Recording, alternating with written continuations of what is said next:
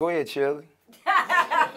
she got a she got a long line for y'all. She got a long line for y'all. Y'all want to roll this out? She be on everybody. She be like, no devil's juice, no special water. Um, Uh, eat a head of lettuce a day. Two. you're not gonna say ahead. what you used to say? Hey, hey, let him let, let No, no, go. no. Go ahead, roll it out. Roll it out for. No fried food. Yeah, definitely no fried foods.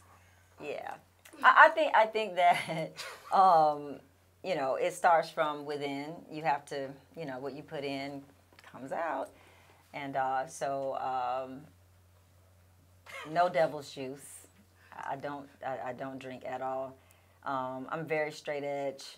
Um, I like to drink alkaline water because when the body is um, more alkaline, diseases can't thrive in alkalinity. And um, so that's a good one right there. You know, and just um, stay away from the from the fast food places. It's not real food. Yep. Fellas, anything to share?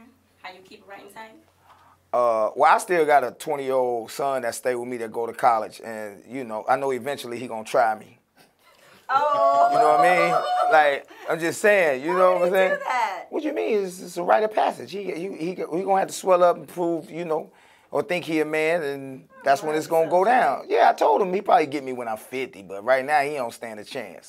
Okay. You know, so I keep it I keep it right. I'm sure he wouldn't do that. No, he, he has to. I'm, I'm waiting on him.